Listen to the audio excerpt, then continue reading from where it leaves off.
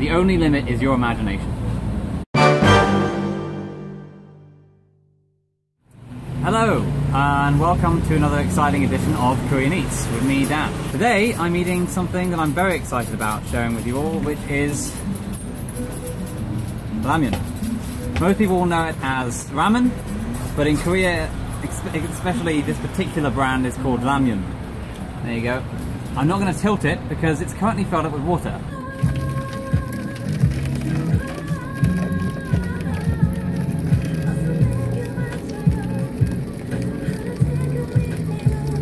As you can see, I clipped it on with my chopsticks, which is a nice lesson I learned from the website Eat Your Kimchi, uh, in order to keep the heat in. And this particular ramen, uh, which is called Shin Ramen, is not one that you drain at the end. It is a sort of watery ramen. To accompany this dish, I have bought some uh, of our old favorites. Salmeungyeran, boiled eggs, soft boiled eggs specifically. Mat kimchi, tasty kimchi, which you may remember from the second episode, and a new addition to the Korean Eats repertoire, cheese. Or if you're Korean, cheese. It is literally just called cheese. This particular one says cheddar cheese, which means, as you can probably guess, cheddar cheese. Uh, it isn't the cheddar cheese that you're used to if you're from the UK. It doesn't come in a lovely big block form with a picture of a cow on front of it, although it does mention being made from milk, uyu, and it's also 25% down, which is always a plus. Let's have a look at how the ramen is right now. Oh, it's looking good. I forgot to move the sachet, so a nice wet sachet here. I have my chopsticks. I have my nicely soaked ramyun here we are. And now I'm going to mix it up a little bit, separate the noodles. There we go. To tear the sachet open. Hopefully it's still in good condition. It got a bit slippery from getting wet. This uh, particular ramen is a little bit spicy. It's kind of a classic. A lot of people like it here. I poured in the powder. Now I'm mixing it all up. Yum, yum, yum, yum, yum. Well, I'm just to let that sit for a minute while we get the other ingredients prepared. Salmeungyeran. Rip it open. Break our egg.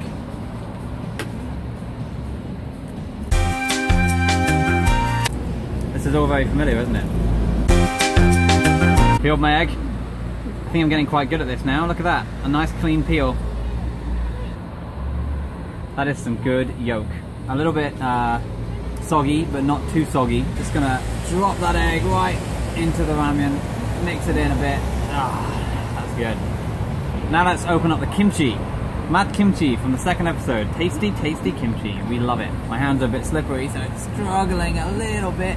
This, there we go. Open. Excellent. Gonna have a little snack before I start.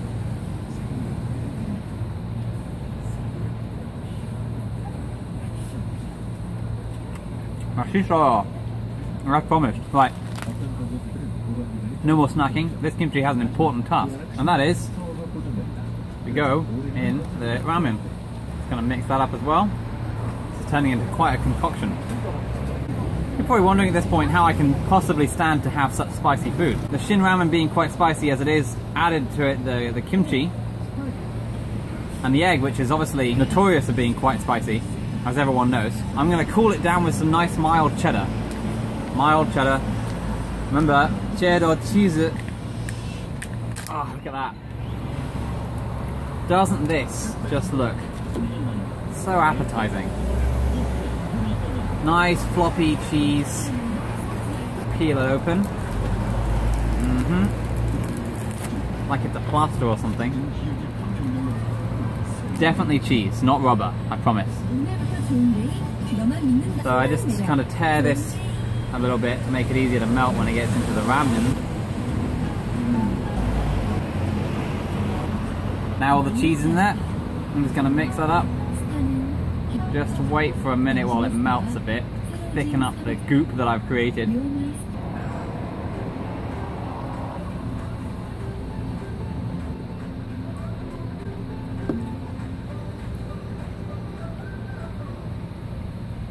This kind of cheese is pretty much the uh, most common kind of cheese you're going to find in Korea. If you want to buy anything that's kind of more like real cheese, as we know it in the UK, you're going to be paying a premium of at least like 500% on top of this, which costs a mere one or 2,000 won a pop. And you get, you know, five generous slices from this. But if you want to get brie, for example, you're looking at least like 10,000 won for like a little kind of tiny wheel, which is only five pounds to be fair, but it's expensive for Korea. Right, it looks like my uh, ramen is looking quite nice now. Mm -mm -mm nice and goopy. The cheese has melted in a bit. The kimchi is, is playing its uh, part as spice agent. And the egg is nowhere to be found. I'm sure I will come across it at some point. Here goes nothing.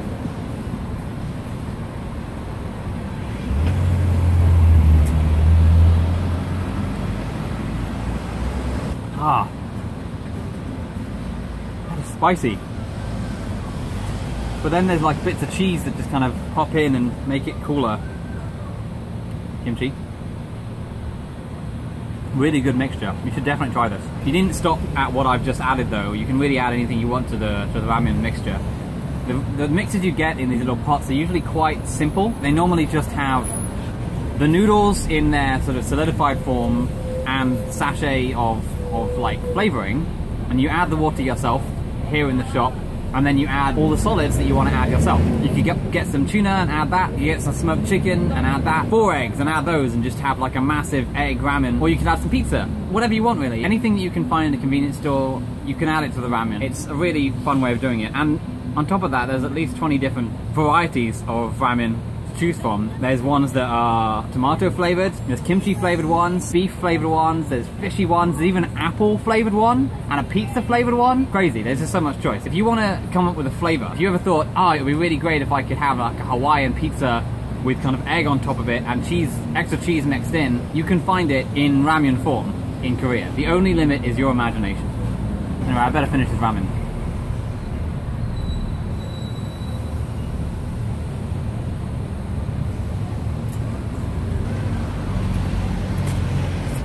Oh, here's a big chunk of cheese.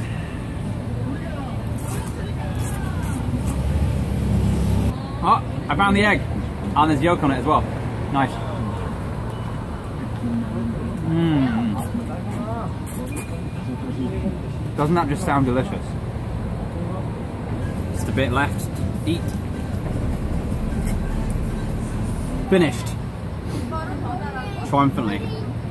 That was extremely spicy but it was worth it and it was delicious. And I have an egg, a boiled egg, four slices of cheese for later, perhaps a midnight snack if in order. Thanks to my friend and cameraman here, Rich, I also have some narang cider, which is not alcoholic cider, but just sort of like slightly lemony fizzy drink. So uh, cheers to spicy, delicious, strange combinations of food in ramen. Thanks for watching as always.